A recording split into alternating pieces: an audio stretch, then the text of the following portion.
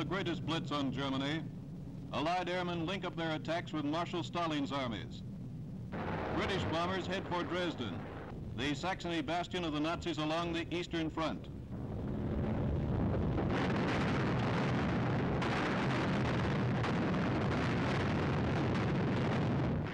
And up comes Goebbels' newest secret weapon, a scarecrow, exploding like a plane hit by ack-ack.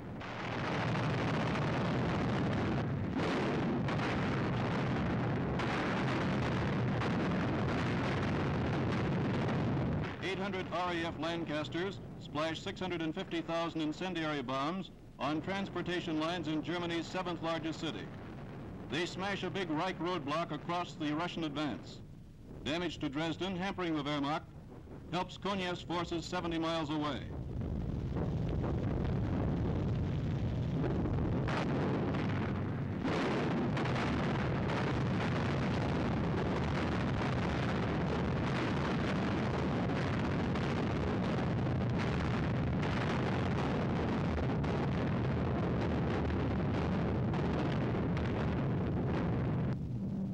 Out of the west, 1,350 American bombers of the 8th Air Force streak their vapor trails into the dawn.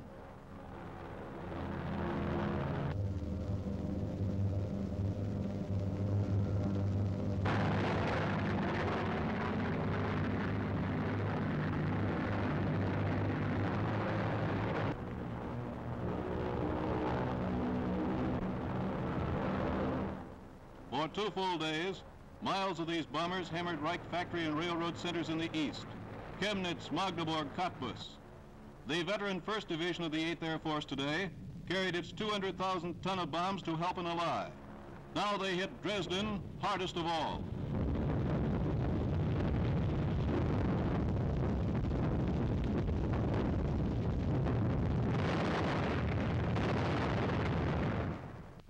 The Blitz here, blasting away for the Russians now 45 miles away, links the two-front Allied drive from east and west on Berlin.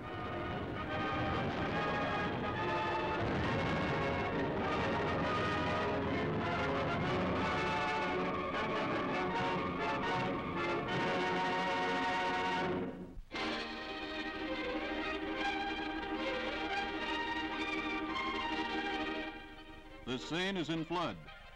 The waters are the highest in 34 years. In this most bitter winter for France, a winter of cold, of hunger, of battered towns, of smashed communications, a winter in which free France lies oppressed by greater hardships than for almost a century, the elements too take their toll.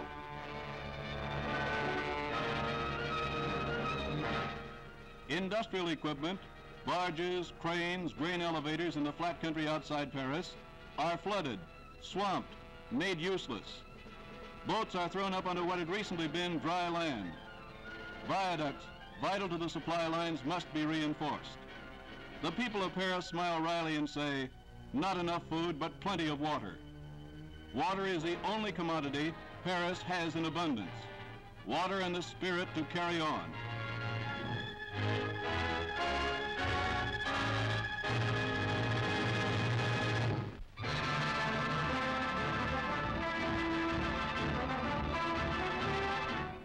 Alsace welcomes General de Gaulle in celebration of the great triumph at Colmar.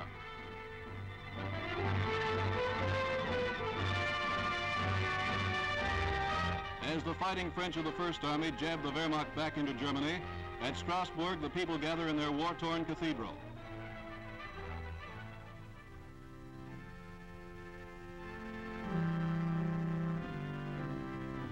Generals de Tassigny, Juin, and Leclerc are here for the victory services.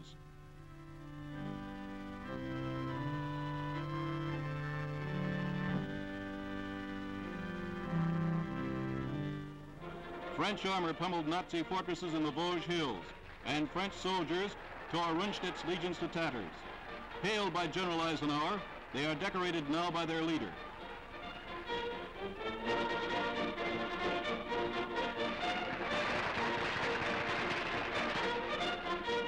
From now on, heroes of Strasbourg and Colmar will fight on German soil. At Saverne, the nation honors its American allies fighting shoulder to shoulder with the French. General Alexander Patch of the 7th Army becomes the commander of the Legion of Honor.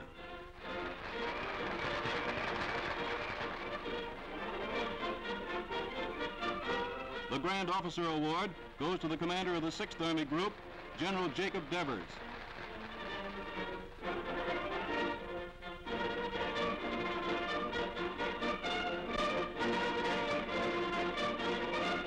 Once again, France and America beat back the ruthless hordes from over the Rhine.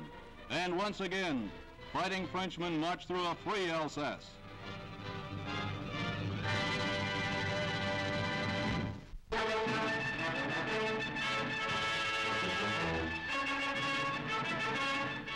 Had come to Athens under the warm Mediterranean sun when Mr. Churchill met my son Randolph visited Greece on the return from the Crimea. Others in the party were Field Marshal Alexander, General Scobie, and the British ambassador.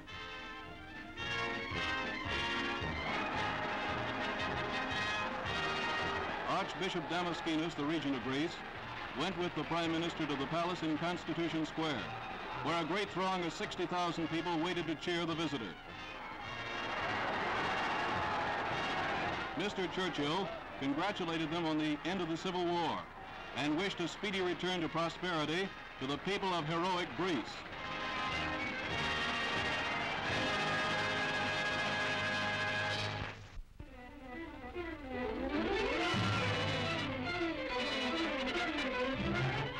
On the Third Army front in Germany, American soldiers have fought in snow, in ice, in fog, and now along flooded roads, flooded marshes, flooded streams.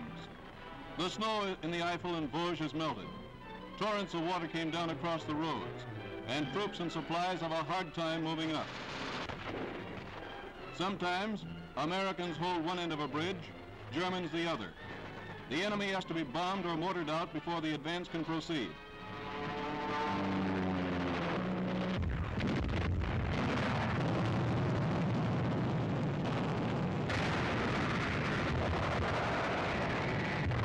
Then a footbridge is built, and the men go over, often under heavy fire from farther up the opposite bank. Over and over, the bridges are hit and smashed. So a smoke screen is laid down to cover the operation.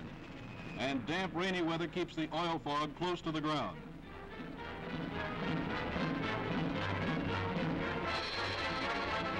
When the wind shifts, the canisters are floated downstream to the windward. Ammunition, food stores, and medical supplies are carried across.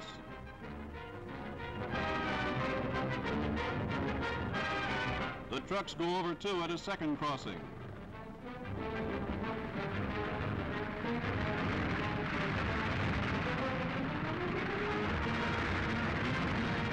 The troops advance with the river and smoke screen behind them.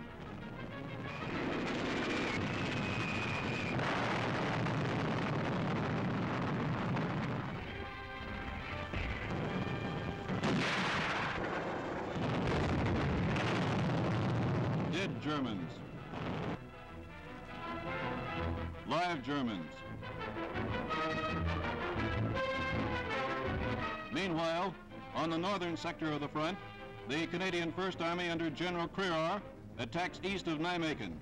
Cleve is taken. Goch is taken. The Rhine is reached at Emmerich. Field Marshal Montgomery, caught in a traffic jam, decides the tanks have priority and stops for a bite to eat. And the tanks go forward. Here begins the new Allied offensive.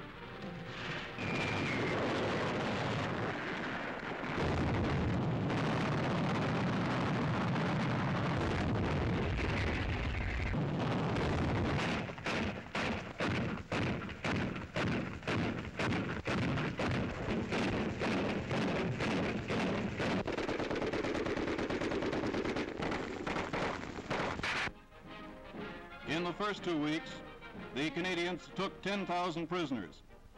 They cleared the Reichswald Forest, cleared a maze of German junctions, broke through three belts of the Siegfried Line. And war comes into the German homeland as it came to other homelands when the Nazis were riding high. Germany is learning what it means to begin a war.